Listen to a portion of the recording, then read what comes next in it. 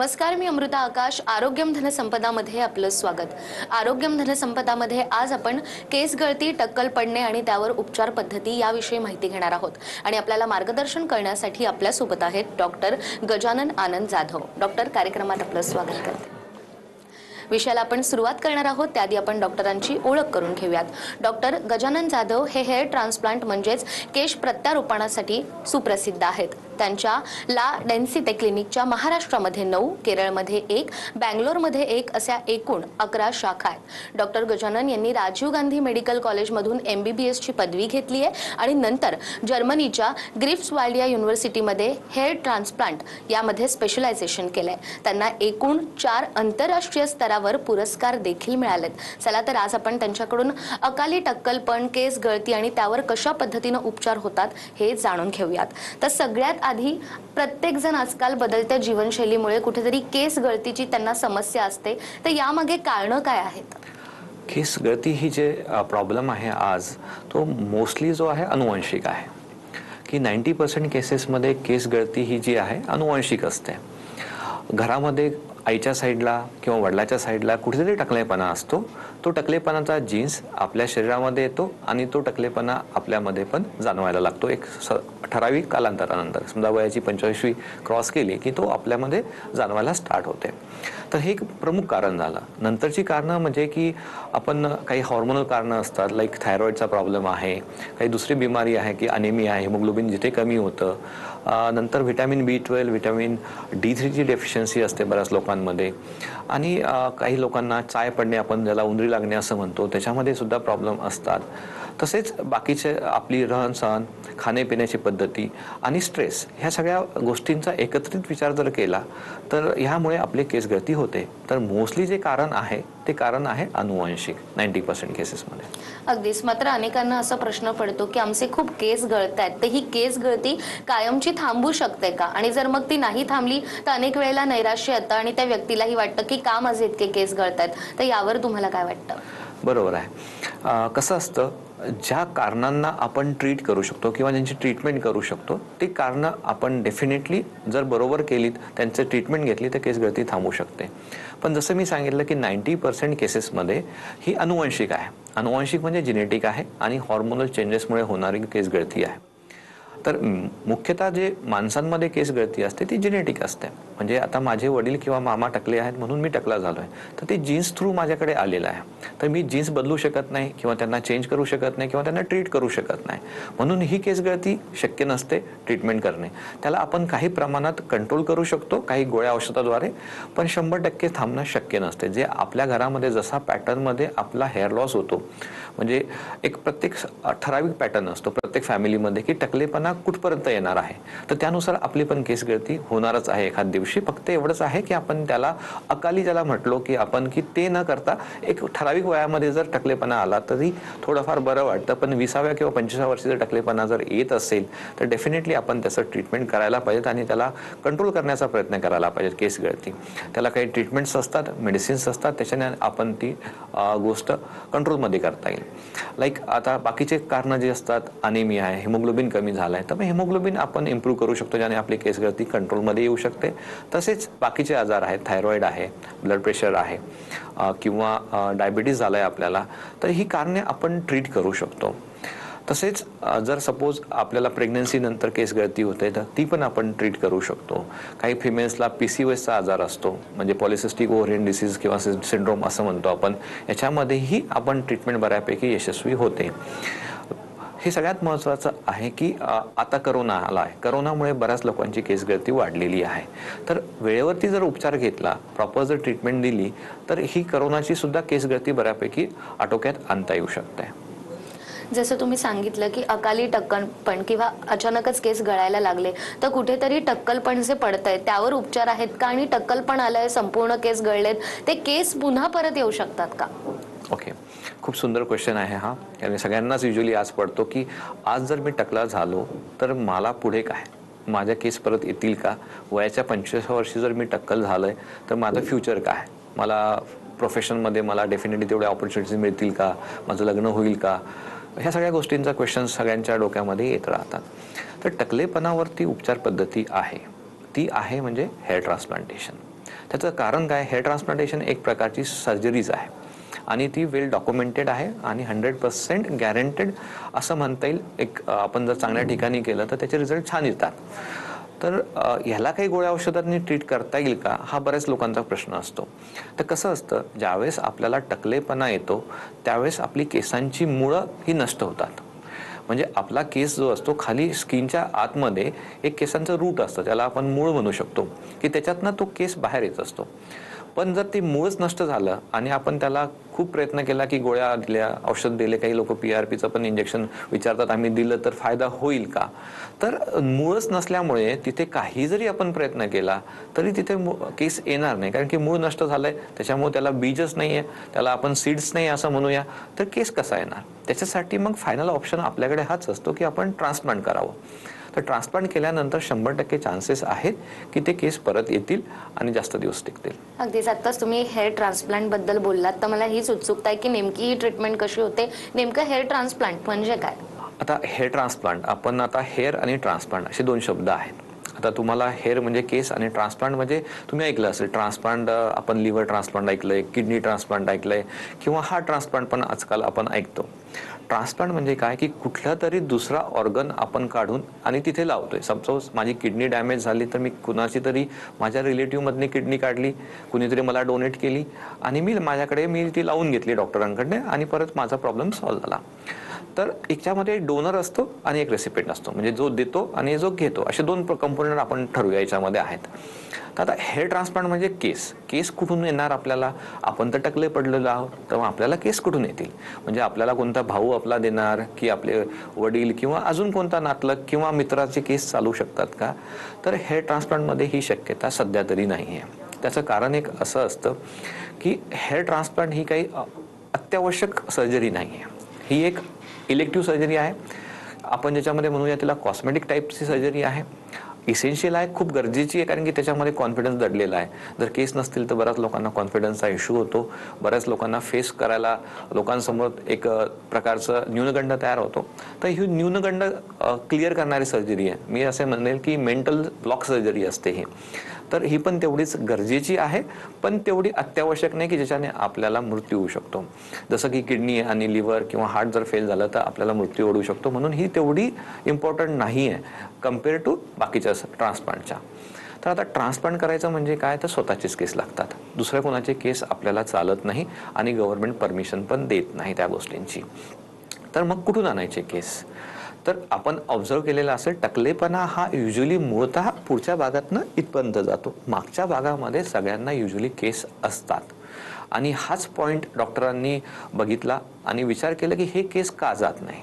जर हे केस जन्मभर राहतात सगळ्यांचे तर मग ह्याच केसांचा वापर आपण जिथे टकलेपणा येतो तिथे का करू नये? तर याच्यावरती रिसर्च केला गेला. रिसर्च केल्यानंतर असं समजलं की हा भाग जो आहे हा जिनेटिक आणि हॉर्मोनल ह्या दोन्हीच्या प्रभावापासून अलिप्त आहे. याच्यावरती या दोन्ही गोष्टींचे इफेक्ट होत नाही. म्हणून सुरुवातीला आपण तिथनं केस काढण्याचा प्रयत्न केला आणि ते सक्सेस झालं. आणि ज्या लोकांना काही ट्रान्सप्लांट आपण केले यांचे केस बऱ्यापैकी जन्मभर टिकलेत. त्यामुळे असं तयार झालं की आपण हा डोनर एरिया यूज केला पाहिजेत जेणेकरून एक नॅचरल लुक येईल आणि आपण ट्रान्सप्लांटसाठी त्याचा वापर करून पेशंटला एक नवीन लुक आणि परत त्यांना त्यांचे केस परत देता येतील. म्हणजे फक्त काय करतोय आपण? एका ठिकाणचे मूळ काढून दुसऱ्या ठिकाणी लावतोय. म्हणजे आपण फक्त पोझिशन चेंज करतोय. मागच्या साईडचे केस पुढे आणतोय. ते तुमचे स्वतःचेच केस असल्यामुळे तिथे परत रिॲक्शन किंवा रिजेक्शन किंवा तुम्हाला चालतील किंवा नाही चालतील किंवा सक्सेस होईल का नाही होईल ह्याचा काही प्रश्न उद्भवत नाही. कारण की तुमचे स्वतःचेच आहे. जसं स्वतःचं ब्लड जर स्वतःला दिलं तर काही रिॲक्शन येऊ शकत नाही. तसंच हा आहे. याला आपण म्हणतो की स्वतःचा ट्रान्सप्लांट आपण स्वतःच्याच केसांनी करतोय. मात्र कधी असं होतं का की तुम्ही ट्रीटमेंट करतायत मात्र ही ट्रीटमेंट अयशस्वी होते? आणि मग त्यामागे देखील काय कारणं असू शकतात? हेअर ट्रान्सप्लांटेशन जर आपण कन्सिडर केले दोन फॅक्टर्स की एक पेशंट फॅक्टर असू शकतो. म्हणजे पेशंटमध्ये काही प्रॉब्लेम्स आहेत त्याच्यामुळे हेअर ट्रान्सप्लांटेशन शक्य झालं नाही किंवा सक्सेस झालं नाही असं होऊ शकतं. किंवा डॉक्टर्स किंवा क्लिनिक फॅक्टर्स काही असू शकतात त्याच्यामध्ये. तर आपण सुरुवातीला विचार करूया पेशंटचे काही फॅक्टर्स आहेत का? सपोज पेशंटला काही मुळताच बिमारी आहे. त्यांचं हिमोग्लोबिन ठीक नाही आहे त्याच्यामुळे पेशंटच्या केसांना रक्तपुरवठा व्यवस्थित होत नाही त्यामुळे ऑक्सिजन पुरवठा व्यवस्थित होत नाही. अशा कंडिशनमध्ये जर ऑपरेशन केलं गेलं तर वाढ व्यवस्थित होणार नाही. तसंच थायरॉईडची बिमारी आहे ती कंट्रोलमध्ये नाही आहे. तुम्ही अनकंट्रोल थायरॉईड आहेत. थायरॉईड हा आपला मेटाबॉलिक हार्मोन आहे. आपल्या शरीरामध्ये जे काही आपण मेटाबॉलिझम होतं ते थायरॉईडने कंट्रोल होतं. त्याच्यामुळे त्याचा हेअर सायकल पण थायरॉईड हार्मोनने बऱ्यापैकी कंट्रोल होतं. ज्यांचा थायरॉईडचा प्रॉब्लेम आहे त्यांना केस गळतीचं प्रमाण जास्त असतं. तसेच डायबिटीज आहे हायपरटेन्शन आहे काही मानसिक विकार आहे ज्यांच्यामध्ये सुद्धा काही आपण गोळ्या औषधं घेतल्यात आणि आपण ट्रान्सप्लांट केलं तर त्याच्यामध्ये ते योग्य होत नाही. तसेच काही अजून बिमारी आहेत लाईक ॲलोपेशिया एरेटा आपण ज्याला म्हणतो चाय लागणे किंवा उंदरी लागणे असं म्हणतो अशा कंडिशनमध्ये जर ट्रान्सप्लांट केलं गेलं तर शरीरामध्ये केसांच्या अगेन्स्टच अँटीबॉडीज असतात की ज्या केसांच्या मुळांना नष्ट करतात. तर असे क- प्रकारचे केस जर आपण ट्रान्सप्लांट केले तर तिथले रिझल्ट छान येत नाही. आणि पेशंटने व्यवस्थित काळजी घेतली नाही. सुरुवातीचे पहिले दहा दिवस जे असतात ऑपरेशनचे फार महत्त्वाचे असतात. तर त्याच्यामध्येच जर केस निघून गेले किंवा त्याच्यामध्ये काही डॅमेज झाला तर केसांना जसा पाहिजे तसा रक्तपुरवठा न होता पेशंटचे केस प्रॉपर येऊ शकत नाही. तर हा एक झाला पेशंटचा मुद्दा ज्याच्यामध्ये आपण म्हणू शकतो की हेअर ट्रान्सप्लांट सक्सेसफुल होत नाही. तसेच डॉक्टरांचा मुद्दा. आता हेअर ट्रान्सप्लांटचे बेसिक आपण कन्सिडर करूया दोन स्टेप्स आहेत. एकामध्ये आपल्याला केस काढायचे आहेत मुळासकट आणि दुसऱ्या ठिकाणी ते लावायचे आहेत, जिथं आपल्याला टकलेपणा आहे. तर समजा आपण एक डॉक्टर आहेत त्यांनी केस काढताना जर केसांची मुळच डॅमेज केली त्यांना प्रॉपर काढताच आले नाही तर मग असं होऊ शकतं की ते केस लावून फायदा नाही. कारण की केसांची मुळच जर नाही लावली आणि केस वरतूनच केस लावला तर केस येणार नाहीत. किंवा समजा एका ग्राफ्टमध्ये दोन ते तीन केस आहे त्याच्यापैकी आपण एक किंवा दोन डॅमेजेस करून टाकले आणि एकच केस लावला तर त्याची डेन्सिटी येणार नाही. म्हणजे जशी घनता हवी आहे जसं दाट केस हवेत तसे येणार नाहीत. हा झाला एक एक्स्ट्रॅक्शनचा पार्ट म्हणजे आपण ग्राफ काढतो मशीनद्वारे तर तो एक पार्ट झाला ज्याच्यामध्ये प्रॉब्लेम असू शकतो. दुसरा पार्ट आहे केस लावणे. म्हणजे केस आपल्याला केस लावताना काहीतरी इन्स्ट्रुमेंट असतात त्याच्याद्वारे ते लावायचं असतो. एक तर पहिले होल बनवून त्याच्यामध्ये केसला सोडला जातो किंवा काही पेन्स असतात त्याला इम्प्लांटर पेन असं म्हणतात त्याच्याद्वारे तो लावला जातो. जर डॉक्टर किंवा जे ऑपरेटिंग सर्जन किंवा टेक्निशियन्स आहेत जर ते एक्सपर्ट नसतील त्यांना अनुभव नसेल ते लावताना सुद्धा ते डॅमेज करू शकतात. जे शरीराच्या आतमध्ये केस जातानाही डॅमेज होऊ शकतो. त्यामुळे दोन्ही कंडिशनमध्ये जर व्यवस्थित नसेल एक्सपिरियन्स डॉक्टर नसेल क्वालिफाईड डॉक्टर नसेल तर टीम जी करणारी असेल ती प्रॉपर नसेल. तर या दोन्हीमध्ये प्रॉब्लेम होऊ शकतो. तसंच असेप्टिक प्रिकॉशन्स आहेत. म्हणजे की आपण जर प्रॉपर निर्जंतुकरण केलेलं नसेल ऑपरेशन थिएटरचं इन्स्ट्रुमेंट प्रॉपर नसतील आणि जर इन्फेक्शन झालं चुकून तर त्या ठिकाणी सुद्धा केसांचा वाढ ही प्रॉपर होत नाही. तर ह्या दोन गोष्टींमध्ये कधी कधी हा विषय होऊ शकतो की केसांची वाढ नीट झाली नाही किंवा जसा पाहिजे तसा आपल्याला अपेक्षित रिझल्ट मिळालेला नाही आहे पण जर तुम्ही अशा ठिकाणी केलं की जर डॉक्टरांचा एक्सपिरियन्स भरपूर आहे प्रॉपर हायजीन आणि प्रिकॉशन्स घेतल्या गेलेल्या आहेत. आणि तुमच्यामध्ये पण काही निगेटिव्ह फॅक्टर्स नाही आहेत जे प्रॉब्लेम क्रिएट करू शकतात हेअर ट्रान्सप्लांटच्या ग्रोथमध्ये तर शंभर टक्के नऊ महिन्याच्या आतमध्ये तुम्हाला रिझल्ट अपेक्षित करायला हरकत नाही. जसं तुम्ही आता सांगितलं की हेअर ट्रान्सप्लांट केल्यानंतर नेमकी काय कारण आहेत? मात्र कधी असं होतं का की हेअर ट्रान्सप्लांट केलेत त्याचे काही दुष्परिणाम देखील आपल्याला पाहायला मिळतात? आणि जसं आपण बघतो की डोकेदुखी चक्कर किंवा कॅन्सर तर याबाबत खूप समज गैरसमज आहेत. तर काय सांगाल? सी हेअर ट्रान्सप्लांटेशन ही जी प्रोसिजर आहे ही सगळ्यात महत्त्वाची म्हणजे की ही टेस्टेड प्रोसिजर आहे. असं नाही की आता सहा महिने झाले किंवा वर्ष झालं आणि आपण करतोय आणि त्याचा लॉंग टर्म डेटा ज्याला म्हणतो की आपल्याकडे प्रूफ नाही आहे. आता कमीत कमी एफ यू टेक्निक जी आता रिसेंट टेक्निक म्हणतो आपण फॉलिक्युलर युनिट एक्स्ट्रॅक्शन याच्यामध्ये आपण एक एक केस काढतो आणि लावतो. दुसरी जुनी टेक्निक होती त्याला म्हणायचे फॉलिक्युलर युनिट ट्रान्सप्लांटेशन टेक्निक त्याच्यामध्ये काय व्हायचं त्याला आपण स्ट्रीप सर्जरी पण म्हणायचो की त्याच्यामध्ये स्किन आणि केस दोन्ही काढल्या जायचे एकत्र कटिंग करून करायला जायचं. त्याला आपण स्कॅल्पेलने कट करायचो स्किनचा तो पार्ट आणि आपण तो लावायचो कट करून केसांना. तर याच्यामध्ये टाके पडायचे. तर ती थोडीशी जुनी टेक्निक झाली आणि त्याच्यामध्ये बऱ्यापैकी पेशंटला त्रास व्हायचा. आता जी नवीन टेक्निक आहे त्याच्यामध्ये पेशंटला त्रास होत नाही कारण कुठल्याही प्रकारचा कट किंवा टाके हे पडल्या जात नाही त्याच्यामध्ये. तर ह्या ज्या टेक्निक्स आहे ह्या बऱ्याच अंशी प्रूफ झालेल्या आहे की याच्यामध्ये कुठल्याही प्रकारचे कॉम्प्लिकेशन्स आणि लॉंग टर्म साईड इफेक्ट्स होत नाही. जे काही साईड इफेक्ट्स आहेत की डोक्याच्या फोरेडवरती सूज येणे किंवा डोळ्याच्या अवतीभोवती सूज येणे हे सुरुवातीचे दहा दिवस असतं. पेन फॅक्टर हा मेजर काहीही नसतो कारण की सुपरफिशियल सर्जरी फार सुपरफिशियल म्हणजे फाईव्ह मिलीमीटरपर्यंतची सर्जरी आहे. ही स्किन सर्जरी आहे. म्हणजे चामडीची शस्त्रक्रिया आपल्याला म्हणायला हरकत नाही. तर हे क तसं शक्य नाही आहे की आपल्याला ब्रेन कॅन्सर म्हणा किंवा सायकोसिस किंवा वे वेडेपणा असं म्हणूया. किंवा कसल्याही प्रकारचे अदर प्रॉब्लेम्स लाईक हेडेक वगैरे तर होण्याची शक्यता तशी नाही. कारण की हा मेंदूशी संबंधित सर्जरी नाही आहे ही स्किन सर्जरी आहे. त्यामुळे लॉंग टर्म साईड इफेक्ट्स नाही आहेत शॉर्ट टर्मला आहेत काही छोटे मोठे साईड इफेक्ट्स लाईक तुम्हाला थोडंसं खाज येणे एखाद दोन पुरळ येणे ह्या सगळ्या गोष्टी होऊ शकतात. त्याच्यामुळे एवढं घाबरण्यासारखं काही नाही आहे आणि डॉक्टर जर एक्सपिरियन्स असेल तर हा कुठलाही प्रॉब्लेम तुम्हाला फेस करण्याची गरज भासणार नाही याच्यामध्ये. अगदीच. त्यामुळे ज्या पेशंटला हेअर ट्रान्सप्लांट करायचं आहे त्यांच्यासाठी ही अत्यंत महत्त्वाची माहिती तुम्ही देत आहेत कारण अनेक समज गैरसमज असतात. मात्र ते आत्ता तुम्ही दूर केले त्यामुळे आपण डॉक्टरांकडून आणखीनही माहिती घेणार आहोत एका छोट्याशा ब्रेकनंतर